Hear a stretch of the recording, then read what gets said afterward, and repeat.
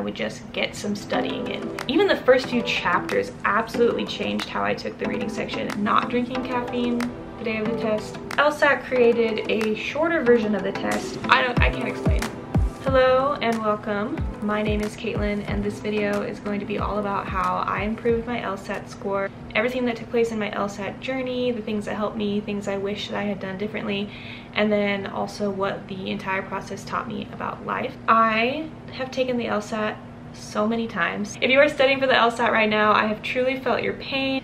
It is not necessary to take the LSAT as many times as I have. I've taken it, let's see.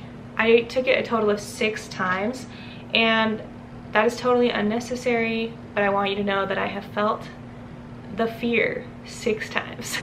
The first time I took the LSAT was in January of 2019. For all intents and purposes, I took it totally cold. The only thing that I had done beforehand was several years prior, I had purchased an online course and I had done a little bit of that, but it had been so long between when I did that tiny bit of studying and when I took the test that I don't think it really counted. This was essentially my cold score. And I'm gonna tell you all of my scores. I just said I'm gonna kick the door down on this test. I think everything that I'm gonna tell you today will apply to you no matter where you're starting. So it's just easier for me to use my actual scores. If you get a lower score than me, you should just assume that you could start there and improve from there. And if you get a higher score than me, then you can just use the same principles to improve on your high score. So I don't think the score actually matters. I think it's the improvement that matters, if that makes sense. So I got a 157 the first time I took it. That is the 66th percentile. And like I said, that was essentially just no studying. That's what I got. That's a fine score. It didn't match my goals at the time, so I knew that I needed to do more studying. I think at that point I took a live course. The live course that I took was um, from the same company as the online course that I had purchased. So it was kind of a weird thing. When I purchased the online course way back when, like in 20, like 16 or something crazy, maybe even earlier than that, they sent me all of these books. And if you're studying for the LSAT, you've probably seen these, but in case you haven't, these are just volumes of previous LSAT tests. And it's probably the most important tool that you'll need because uh, you'll want to be taking practice tests as much as you can or using, or rather, I should say, you'll want to be using real LSAT questions for your study. So I did the in-person course and that was through a company called ACE Test Prep and they're local to me, but I will link their online course below. ACE Test Prep, it uh, I know a lot of people that it was really helpful for. For me, it did a couple of things. I feel like ACE Test Prep really helped me uh, to understand conditional logic and also um, diagramming games. I feel like those are two really foundational things that ACE Test Prep taught me. And then also I feel like ACE Test Prep helped me with understanding logical reasoning like to a really expert level. So for those two things, I would definitely recommend ACE Test Prep. For really getting my score higher, like a lot higher, um, I don't think that it, it did that for me. I think that it helped me with a lot of foundational things and that's kind of the extent of it. That's also a personality thing. In-person classes are have never been that great for me um, when I'm trying to learn something that I just don't understand. I have always done better learning from a book, like reading and trying to teach myself or maybe getting one person to kind of explain something to me. The classroom setting, like I said, it was good for logical reasoning, but I kind of already was pretty good at logical reasoning and then it was good for the conditional logic and for the diagramming of the game so that is pretty foundational. But again I think I got that from the online version because I was self-paced at that point and so the in-person class if you know that you're good at in-person classes and that works for you then definitely do an in-person class. If you are like me and you've always just uh, learned from books then don't bother. I think it, would probably just be a waste of your money or at least not the most efficient use of your money. So I took the LSAT again in October 2019. I only improved my score by two points. Um, I do have to say though, I drank an entire Bang energy drink that morning. I don't, like, I don't, I can't explain. I do think that impacted my test taking ability 159 is a 73rd percentile, so it is a jump, uh, but again, it didn't really meet my goals to be able to go to the school that I wanted to go to. So I took it a month later and I got a 164, which uh, is in the 87th percentile. 157 to 164, that's pretty much what ACE Test Prep did for me. Thank you, ACE Test Prep. And like I said, I really do think that not drinking caffeine the day of the test really helped me. So I think, and it's funny because I think I was worried about falling asleep because that's happened to me before where I just get so sleepy during tests. Like even in high pressure situations like I think I just wanted to self-sabotage or something. At this point I had realized that the in-person class had taken me probably as far as it was going to take me. I moved into studying on my own. And I want to show you I picked up these two books because they were recommended to me so this is the blueprint logic games book. I did use this, but I would not recommend getting this book. The format, I'll show you, is like they have all these little cute cartoons and things like that. But I really don't like information that is, I guess I can zoom in on this. I don't really like information that's given in like little chunks like that. I don't really like a lot of asides and like their funny little humor hasn't aged well to be honest. You can't even get this book anymore. I regret the money that I spent on it. If you are interested in Blueprint, I think they exclusively have an online course now. But I wasn't a huge fan. Other people like it. That's all I can really say. I also at this point bought this book, which was also recommended to me.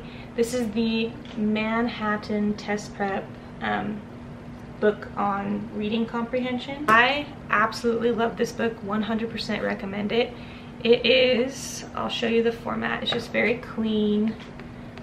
And the way that I used this book was I would read it and then highlight important things so that I knew that eventually I would want to go back and do a review, but I probably wouldn't have time to read the whole book a second time and so I would just highlight things and when they had exercises I would genuinely try to do the exercises. I never actually made it through the whole book because the last few chapters just get kind of high level and my study habits, I'll talk about that near the end of the video, but they weren't awesome. I will say though that just even reading like the first two thirds of this book even the first few chapters absolutely changed how I took the reading section and I improved a lot on it. I can't recommend this book enough. So using those two books, I studied for about a year and I took the test again in October 2020.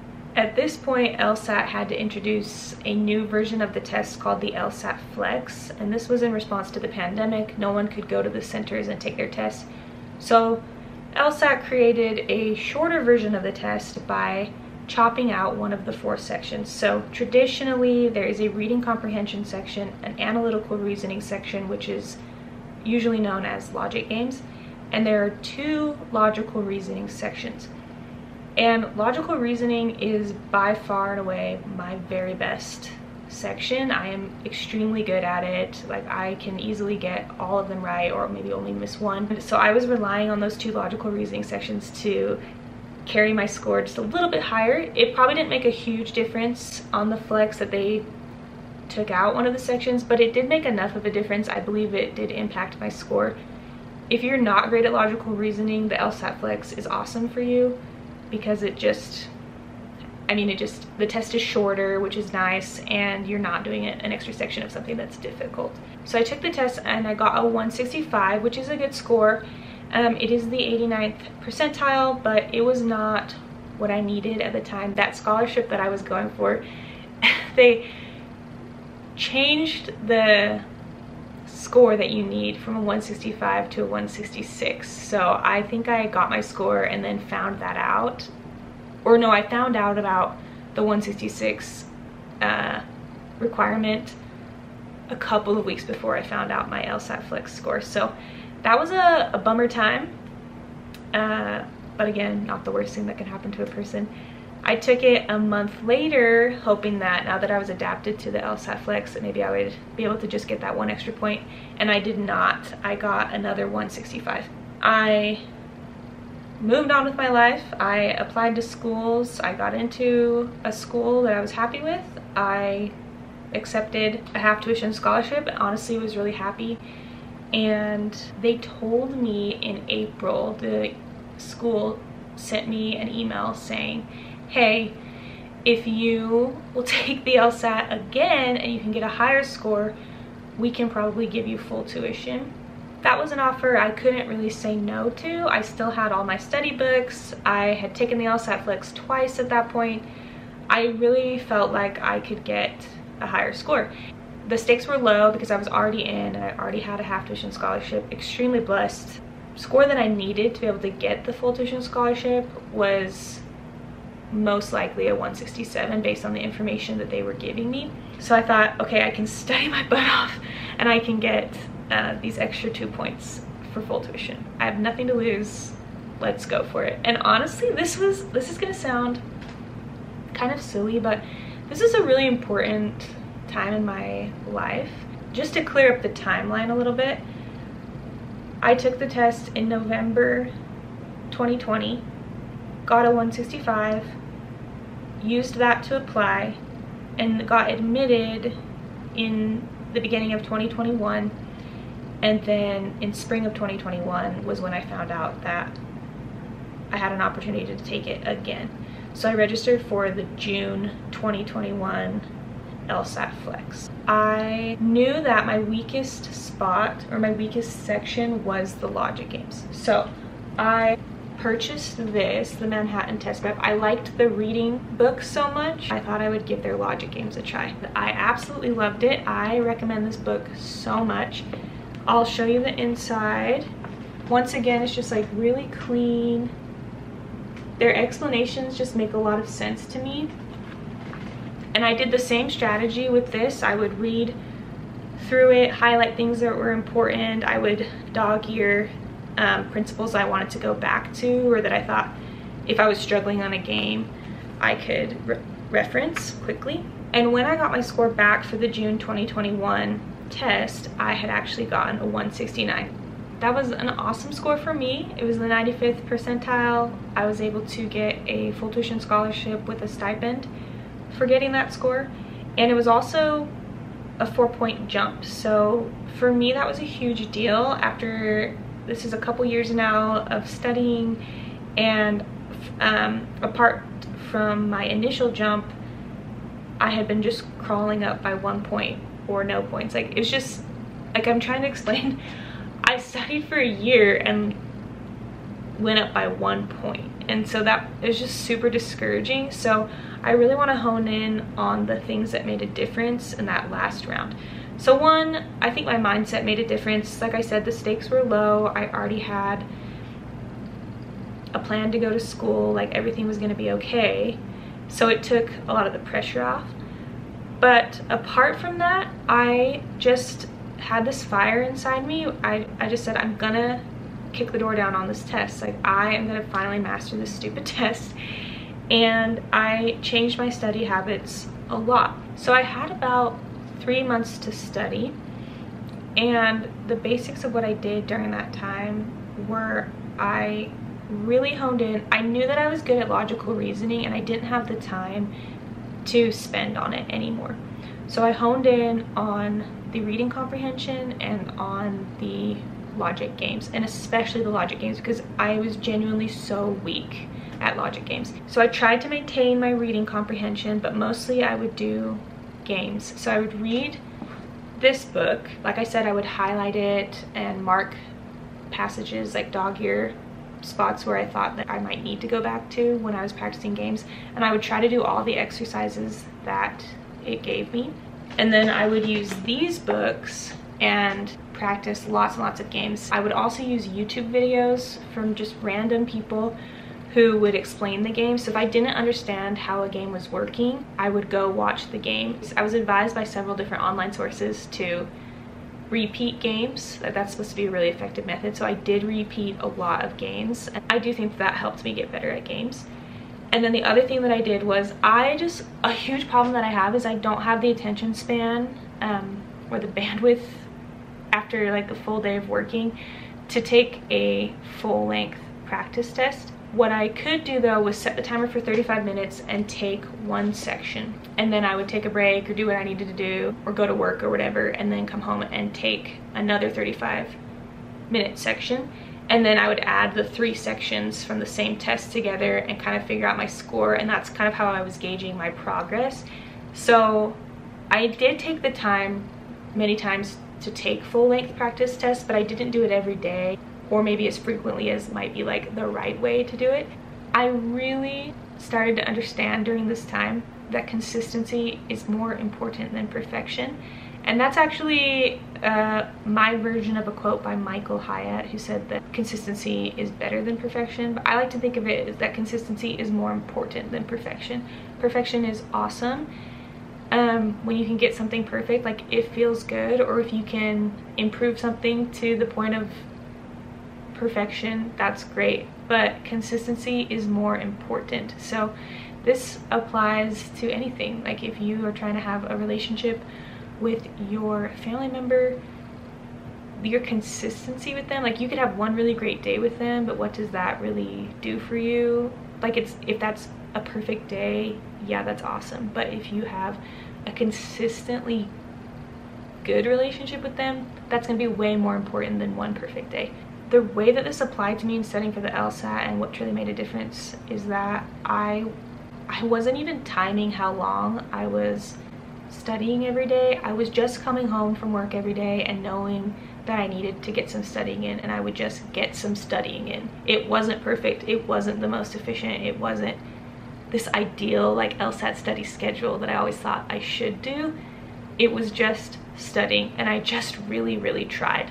And um, just really, really trying got me a four point increase in a couple of months. If there's anything that you leave this video with, it should be that just try to study every day, try things, and don't be overwhelmed and just give up, which I did many times.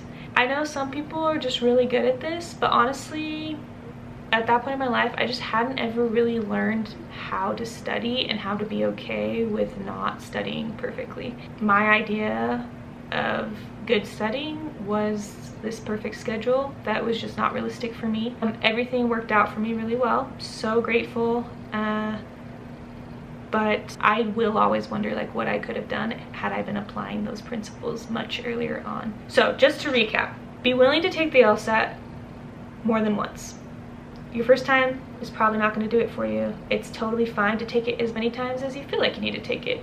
Do you need to take it six times? No.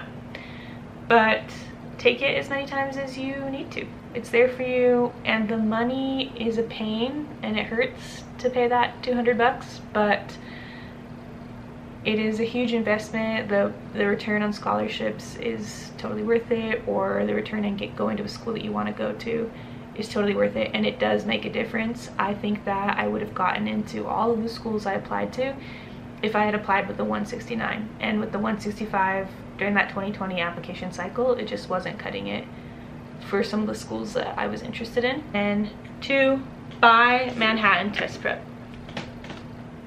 Like obviously I am not a big YouTuber. These guys are not sponsoring me. I get nothing from this except a good conscience knowing that I passed along the best stuff to you. I majorly regret not getting their books earlier and it's like 40 or 50 dollars that again the money hurts but at the same time that was the best investment I ever made. I wish I had had that logic book excuse me the logic games book way earlier on because they were explaining stuff. I finally was getting things about games. And I can't say that all the foundational work I had done up to that point wasn't making a difference, but it really started clicking with that Manhattan Test Prep book. Finally, just remember that consistency is more important than perfection. Wherever your score is at, um, lower than mine, higher than mine, it doesn't matter. You're gonna feel so good that you improved it and that you, that you took it as far as you could take it um, for your goals and it's it's just very satisfying to see your hard work pay off. Honestly, when I was studying for that last test, I felt like I was in a Disney movie and every day was just like a montage of me getting better and it it just really felt good. I'm not proud of the score itself. I'm proud of my mindset change and how my hard work actually paid off. Speaking of mindset, if you really struggle with either perfectionism or feeling like you can't do this test, I mean, maybe your first score was like a 133 and you just think you can't go to law school. Not true. Highly recommend the book Mindset by Carol S. Dweck. It can really kick you in the butt and help you understand that nothing is impossible. You can totally improve your score. And I guess final thought is that I'm in law school now and I love it and the LSAT genuinely, surprisingly even, did prepare me for law school. I can feel like the parts of my brain that I had to use studying for the LSAT, I used those parts of my brain in school. And so standardized testing is not everyone's favorite thing, but I am glad that I learned these concepts um, because they're useful to me. I hope this video was helpful to you. I wish you all the best. I hope you have fun during your LSAT study and feels great for you.